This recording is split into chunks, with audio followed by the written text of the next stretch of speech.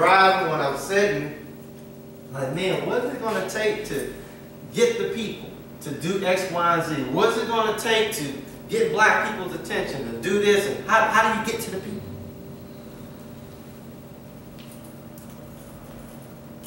I remember uh, when studying the history of America and this war for independence in 1776 was a culmination of that.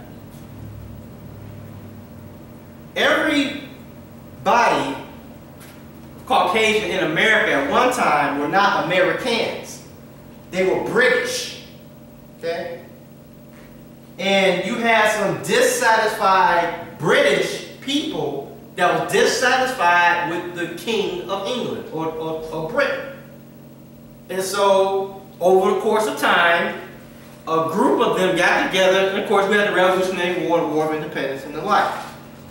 Now, what was the situation when those British, the founding fathers, George Washington, Ben Franklin, Jefferson, John Hancock, what was the situation?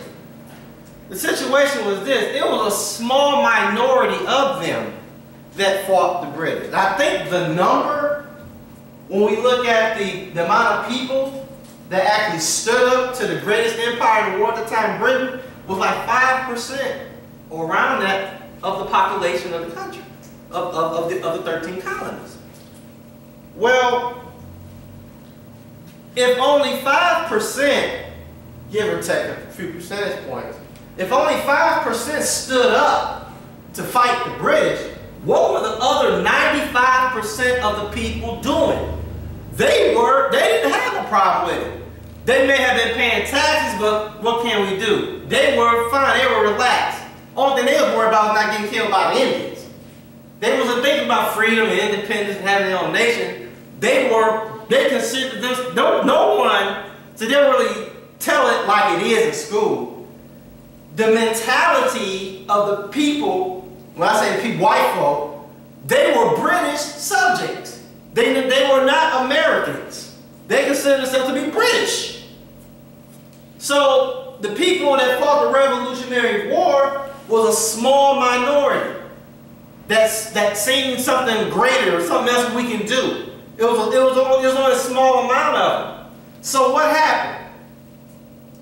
After the 5% or so amount of white folk that got together and defeated Britain, then what happened?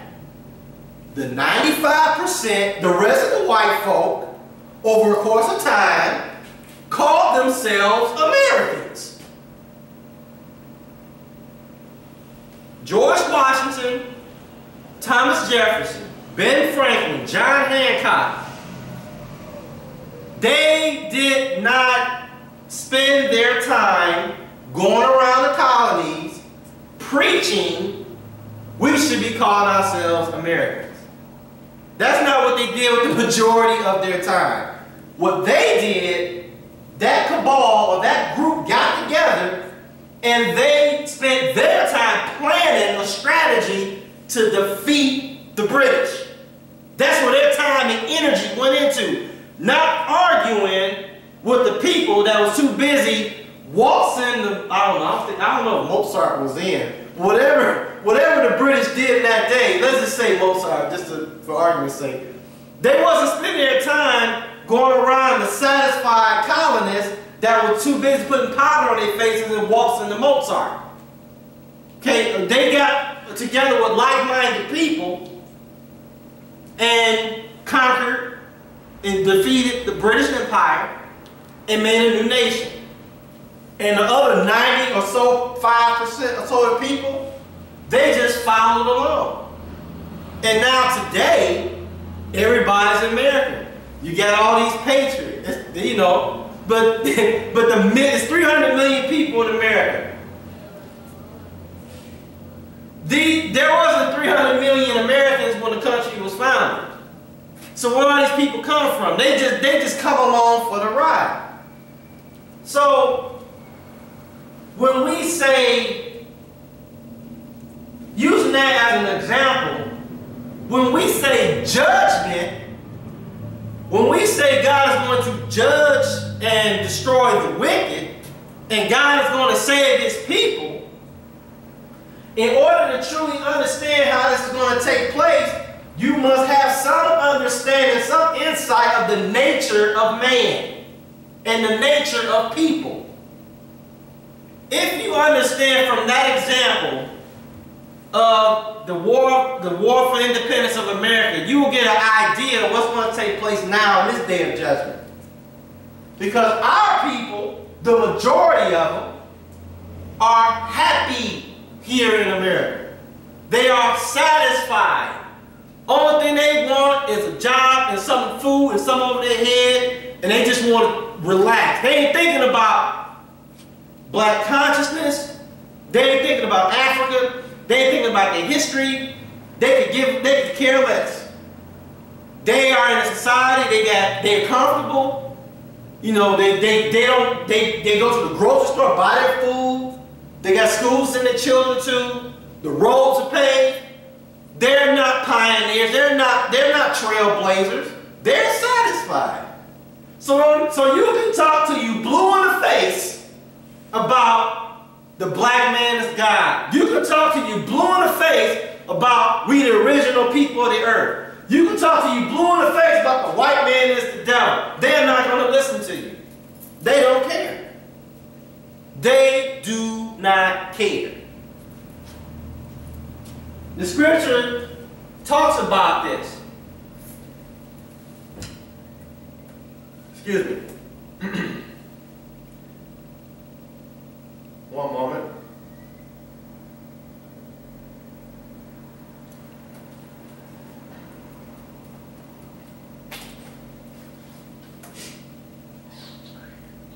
If we go to the book of Isaiah, in the 28th chapter,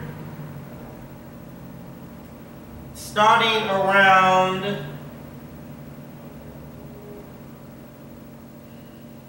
starting around the fifth, starting around the 14th verse of Isaiah, it says the following.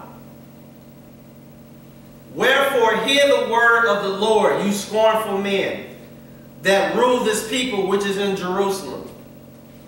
Because you have said, we have made a covenant with death. And with hell, we are at agreement. When the overflowing scourge shall pass through, it shall not come unto us, for we have made lies our refuge. And under falsehood have we hid ourselves. Therefore, thus saith the Lord God, Behold, I lay in Zion for a foundation, a stone, a tried stone, a precious cornerstone, a sure foundation. He that believeth shall not make haste. Judgment also will I lay to the line, and righteousness to the plummet. And the hail shall sweep away the refuge of lies, and the water shall overflow the hiding place. And your covenant with death shall be disannulled, and your agreement with hell shall not stand. When the overflowing scourge shall pass through, then shall you be trodden down by it. We're going to talk about that tribe in a minute. So here in the book of Isaiah, Isaiah is talking about people when they're getting warnings and you know admonishments from God. They said, with hell, we made, we got an agreement with death. With hell, we are in agreement. We have made lies our refuge.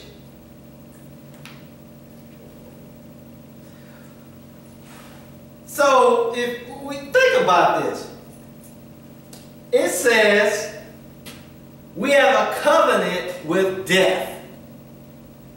What in the world? What kind of people would have could say such a thing? We have a covenant with death.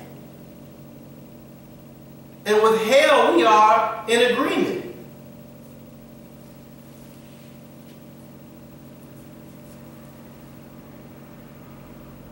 If I say,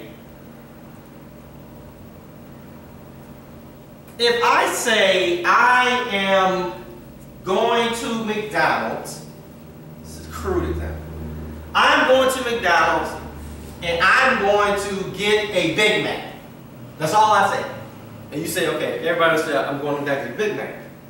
When, but when you say Big Mac, that I'm talking about something. A Big Mac, two beef patties, special chop, special sauce, cheese on a sesame seed bun. All right, I'm, I'm, I'm trying to make a point. Say all of that when I said Big Mac, but that's what I'm talking about. Okay? The scripture says that the, that the Lord's people are going to say that we that we have a covenant with death and with hell we are in agreement.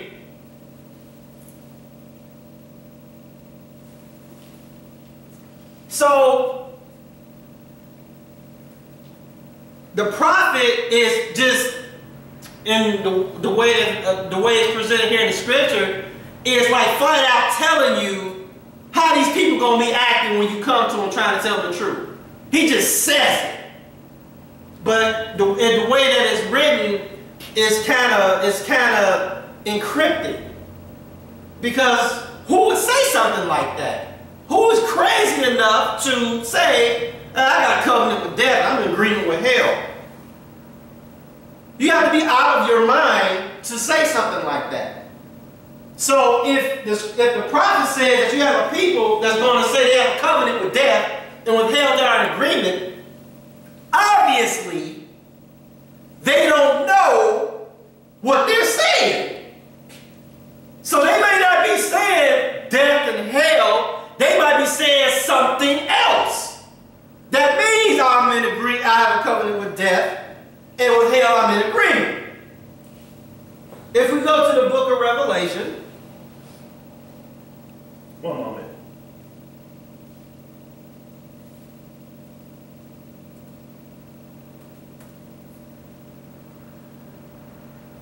If we go to the book of Revelation, the sixth chapter and the eighth verse. No, the sixth chapter and the seventh verse. It reads, and when he had opened the fourth seal, I heard a voice of the fourth beast say, Come and see.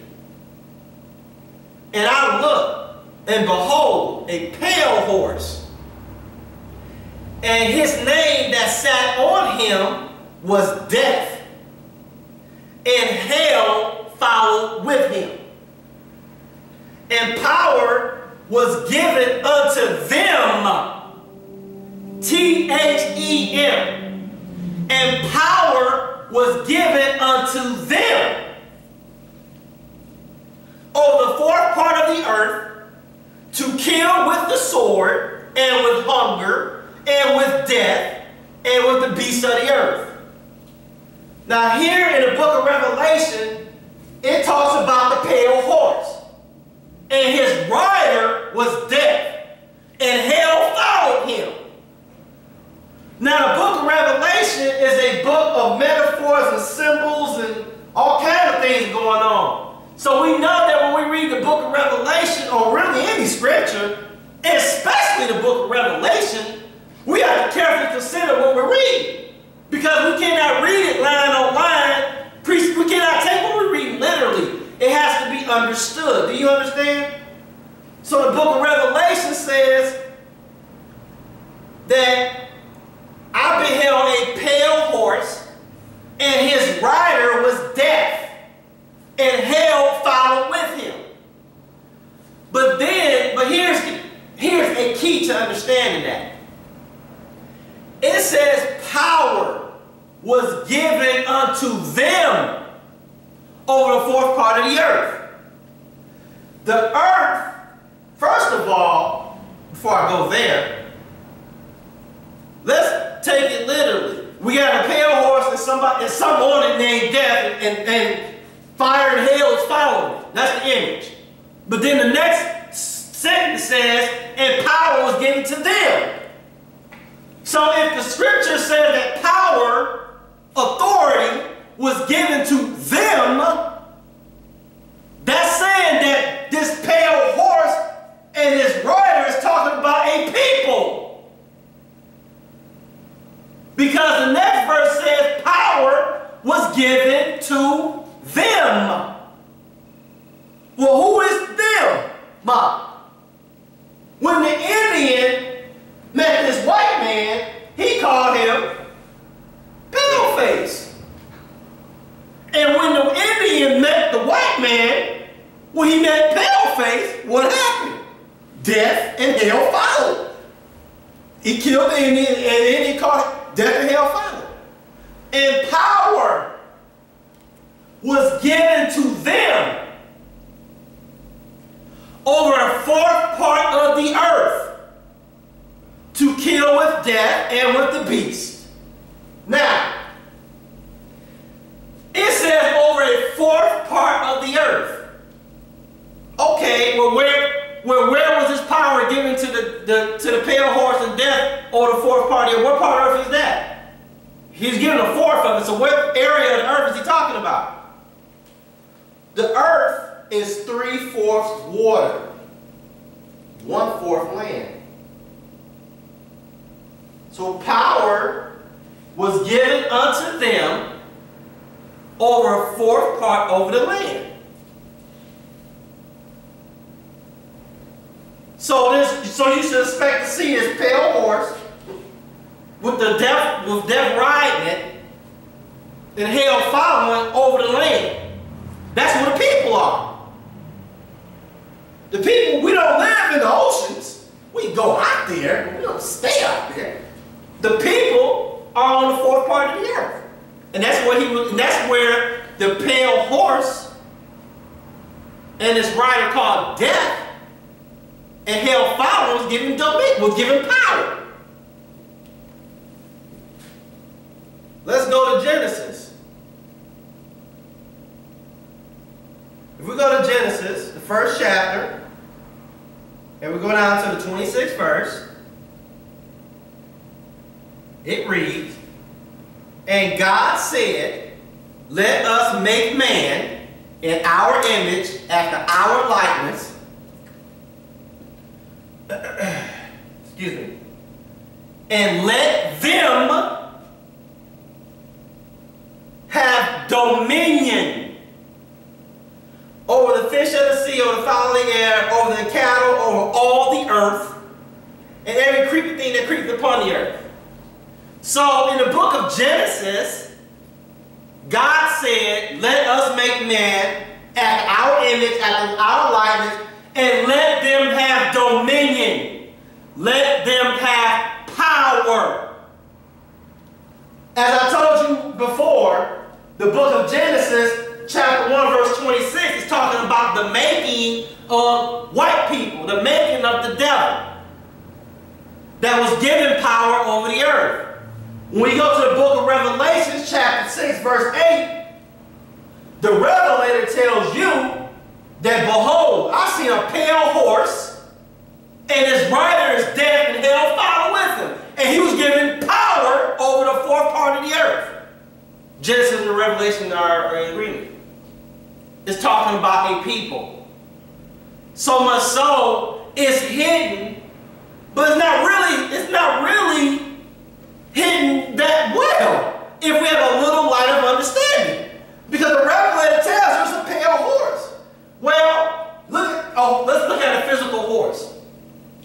If you get on a horse and riding, there could be a cliff. You kick him and you go. That horse will not, a horse is so noble.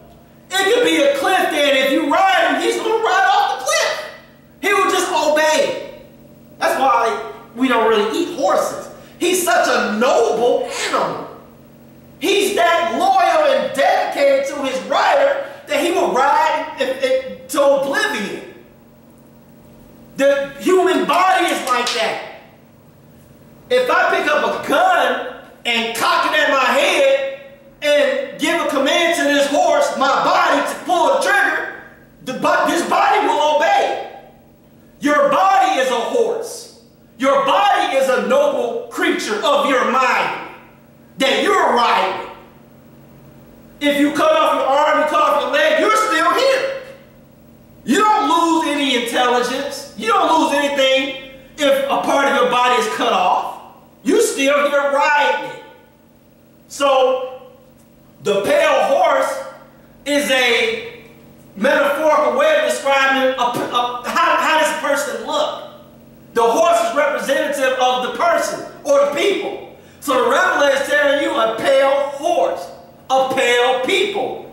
And power was given to them. That's plural. So we must reject the the uh, kindergarten comic book view of the four horses of the apocalypse that's uttered or given by society.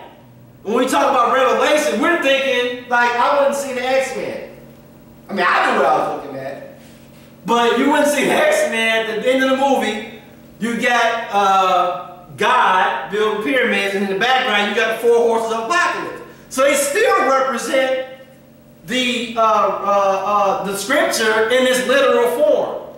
People actually believe that in the last day, the judge will see some horses and something riding and looking, and, and you know, they don't get it. They don't read and examine closely. But we're reading and examining closely. We know that the pale horse is talking about pale people. And power was given to them over fourth part of the earth. In Genesis, dominion was given to them over all the earth. It's talking about the same thing.